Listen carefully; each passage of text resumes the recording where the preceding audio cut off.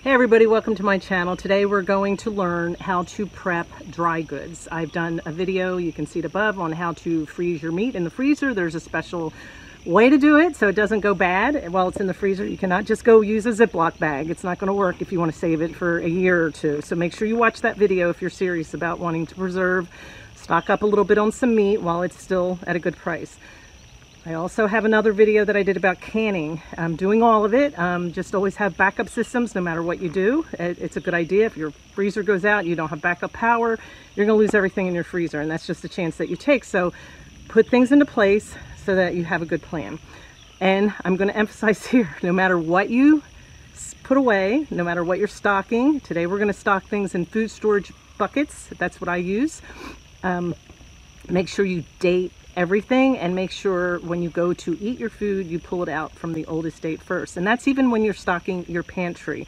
Um, I'll show you a little picture in a little minute. I'll go inside and I'll show you. I just put the date on the boxes and I'll show you what that looks like. Um, behind my boxes is where all my canned goods are. My husband built this wonderful pantry. It's like six feet by nine four or five shelves high, but I can put everything that I need in there. And in the back where I can't reach is where I put all my canned goods and then I put my current store-bought canned goods um, in, in these boxes, and I'll show you that to you in just a moment. Okay, the first thing I want to do is give you a little tour of the pantry real quick when I was telling you about putting dates on boxes. Like everything here in this box down there expires August 2025. I do use things out of it, but it gives me an idea of, you know, what do I need to use first? There's more things up here, 2022, 2023. Um, up here on the top is what I, I literally have the word now. That means, you know, use this stuff up first. Um, everything up here I know is my oldest stuff. So this year I want to make sure all that stuff gets used. Now I'm going to step up. All right, I want to show you up here. I moved some of the boxes, but do you see back there I had mentioned how in behind my boxes, behind my cans is where I have my canned meat. So you see I have chicken there and I keep a list, the little papers over here, a little next to the tissues there. I literally have written on that list what is back there, what the dates are. They're in order from left to right. So when I go to use them, I'll take them from the left and then I'll cross it off on that paper. I'm going to keep track and make sure I know what I have. Now this is the, this shelf is full. So I'm going to have to start going down into my basement and storing my meat down there, which is fine. But today we were going to talk about buckets, and these are the storage buckets that I have. They're five pound buckets, and I will put a link for you. But on top of the bucket, right here, I have a list of everything that's in the bucket, okay? And this was, uh, it has rice, steel oats, rolled oats, lentil, black beans, and bouillon, chicken bouillon cubes are in there, and they all have rice um, every bucket has a 10 pound bag of rice. This bucket here is not finished. I have all that stuff in there, but I had a little bit of room left. So I'm going to probably put more beans in there and some bouillon cubes.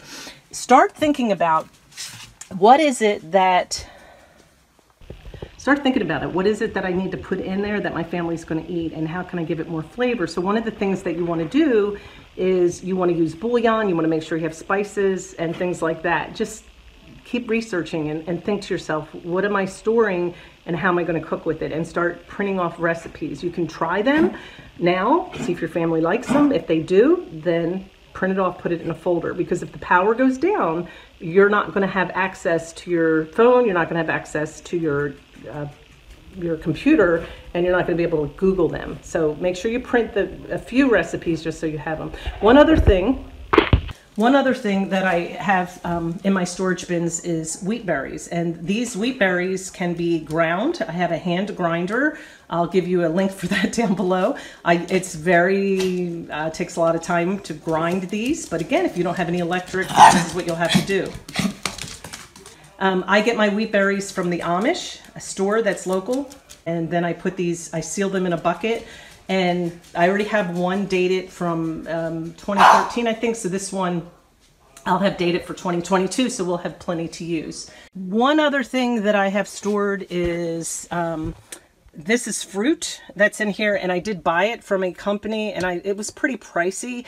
I don't. I only have the one bucket, but it, at least we have something where we can add fruit when we're running out. Another thing you might try to do is get something like Balance of Nature um, and use that and store it um, because they're capsules. I'm sure there's other companies that have it. I haven't done that yet, but I did get this one bucket. I may get another one. Another thing that I've done is I've stored cans of seeds so that you can always find a place, you know, you can always sell the seeds, barter with them, or you can actually um, grow the vegetables yourself. I have all heirloom seeds, and I'll give you a link below where I got that uh, as well.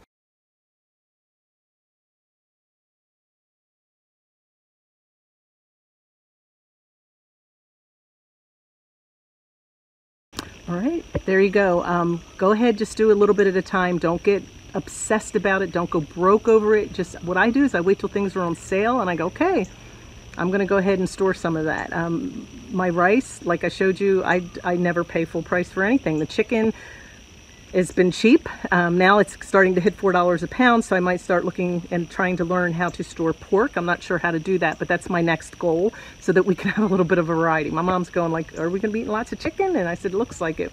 So go ahead, put those things in your bucket, like I said, that you'll like. You, you have to do a little bit of research what you think you'll need. Um, and it, will be there for you. Hopefully you don't need it. I, I have a sister that said, I'm not storing all that stuff. That's a lot of money if you don't need it. But to me, it's like insurance. Um, we pay insurance that we never use for cars or for houses. I've never had a house where I had to turn insurance. It never burnt down or anything has happened. But I pay over a $1,000 a year. And that's what this is. It's just insurance in case you need it. If you never need it, that's great. Isn't it? Right? But if you do need it, that's great too because you'll have it. All right, you have a blessed day. Make sure you give me a thumbs up. If you have any questions, put them below. I'm happy to do my best to answer those.